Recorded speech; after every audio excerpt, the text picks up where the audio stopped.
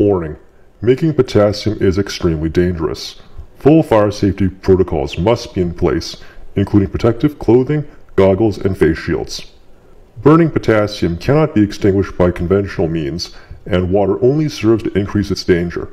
This experiment should only be performed by an experienced chemist in a fume hood. Greetings, fellow nerds! In this video, we're going to make potassium metal using a lesser known chemical approach of reduction with magnesium. First, we start with 2.4 grams of magnesium turnings. Now, powder works better and faster, but turnings can still be used. Let me put on a funnel. Now our next ingredient is 5 grams of potassium hydroxide. There we go. Now we need a high boiling solvent. I'm going to use 20 milliliters of tetrahydronaphthalene. Now I'm using this because it's denser than potassium, and thus the potassium will float it, allowing us to see the reaction as it occurs, and to help coalesce the potassium. You can use mineral oil instead, such as the inert baby oil I showed you in a previous video.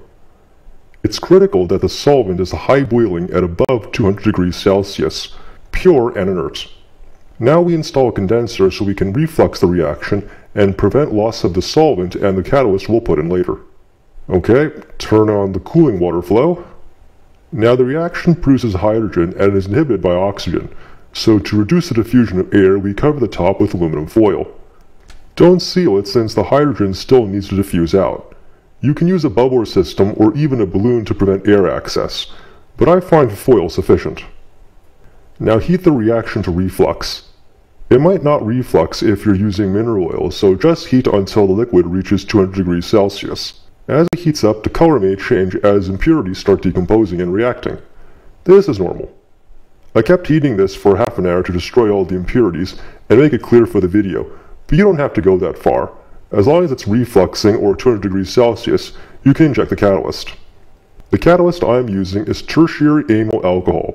Lifting the aluminum foil, we inject 0.4 milliliters of it into the top of the condenser and replace the foil. Now every 10 minutes add an additional 0.1 milliliters of alcohol for a total of 0.6 milliliters, or 6 times over an hour.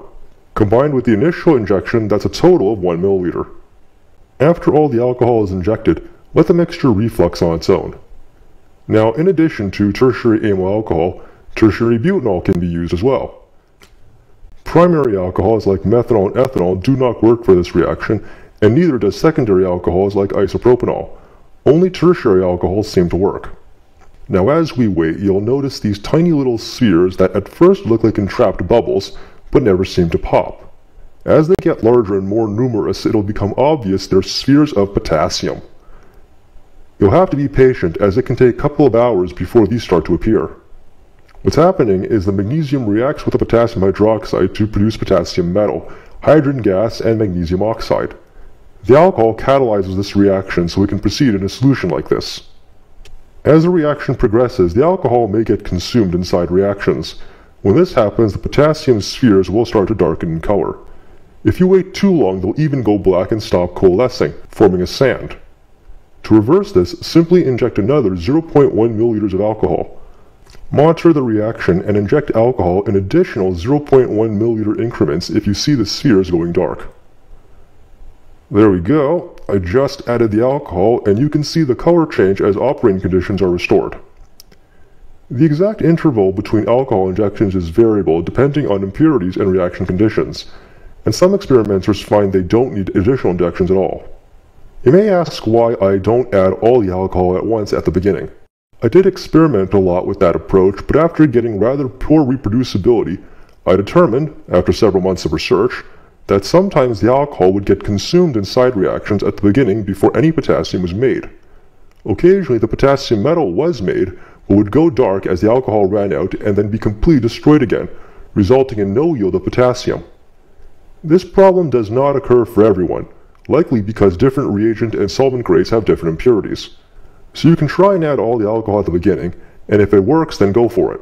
But if you're having reproducibility issues then it might be side reactions destroying your alcohol. Thus, I recommend going with staggered addition as I've demonstrated in this video.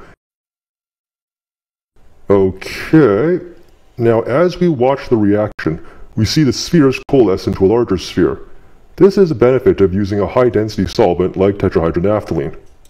The alcohol helps the coalescence, and if you see lots of spheres collecting, but not coalescing, you might be able to help it along by injecting another 0.1 milliliter shot of alcohol. But if you're using a lower density mineral oil, then the spheres will just rest on top of the potassium hydroxide and only rarely come together. Don't worry, I'll show you how to coalesce smaller spheres of potassium later. Now the reaction is done when there is no more magnesium. At this point, turn off the heating and let it cool. Here is the reaction mixture after everything has solidified. You can see many small spheres of potassium resting on the byproducts, and over here is our very large sphere of potassium. Just scoop them out with a spatula or a pair of tweezers. Although if the narrow neck is giving you trouble, you can dump out the mixture into some toluene. The toluene also helps to wash the potassium, so I recommend dropping into toluene even if you can get the potassium separately. If it's really dirty, I recommend washing again with fresh toluene. After washing with toluene, place the potassium into a clean vial with mineral oil for short-term storage. Now before we test it, we need to render the rest of our apparatus safe by destroying any potassium residues. Place the flask in another beaker to contain any bubbling overflow. And now add isopropanol to all the containers that previously handled potassium. Please do this slowly. The isopropanol reacts with any potassium residues and forms potassium isopropoxide, which won't catch fire when you dispose of the waste later on and clean your glassware with water.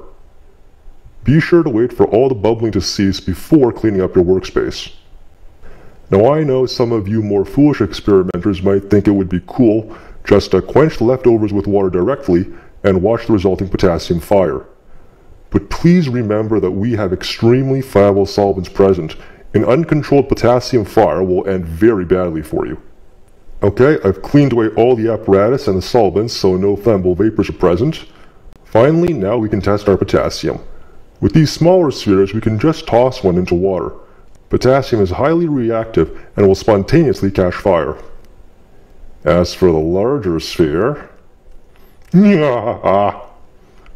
so that's how you make potassium. Now for some additional experimental notes. A special note about long-term safety. Do not leave potassium in storage for too long. The potassium on the left was made today and is shiny and pure. But after storage for a month, sometimes potassium will react with air and moisture to form a coating of potassium oxides and hydroxides as seen on the right. The color change can range from dark purple to yellow. This coating is extremely dangerous. As it becomes thicker and thicker, it becomes a highly shock-sensitive explosive, and some experimenters have been seriously injured by flaming explosions of potassium after they stored it for several months. Therefore, if you have potassium, use it or destroy it within a few months or less. Otherwise, you run the risk of severe injury if your container has an air leak. Mineral oil alone is not good for long-term storage because air can still diffuse through it, albeit slowly. For long-term storage, potassium must be sealed into a glass ampule or kept in an inert atmosphere glove box. You can destroy small pieces of potassium by mixing with alcohol as mentioned previously. If you have to destroy large amounts, I recommend placing it in toluene first and adding alcohol slowly with stirring until it starts bubbling.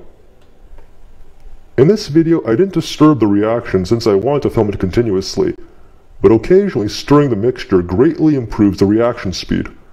Also, yields are considerably improved since the magnesium metal doesn't get cemented in the magnesium oxide and potassium hydroxides. Be sure to turn off the heat and wait until it stops refluxing before doing this.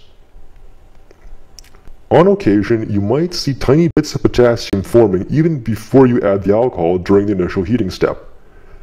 This is because impurities are already catalyzing the reaction. You can start adding alcohol right away if you see this. The quality of magnesium is important for the reaction. I found that highly oxidized magnesium as seen here on the right didn't work to produce potassium. Buying new magnesium or grinding off your own from a magnesium ingot is recommended. Another thing to do is put the magnesium in the solvent first without potassium hydroxide and adding 0.1 milliliters of alcohol and boiling for several minutes. The alcohol helps to etch the surface and restore activity. It doesn't always work, but it's worth a shot. You might be wondering if sodium can be made this way by replacing the potassium hydroxide with sodium hydroxide. I tried this myself and I can't get it to work. Nothing seems to happen. I don't know if I'm doing this wrong or if I need to use a longer chain alcohol. I'm told, however, that sodium should work. If you should successfully make sodium using this method, please post a video of your process. Anyway, that's how you make potassium using the catalyzed magnesium reduction approach. Thanks for watching. Please subscribe, like, and comment.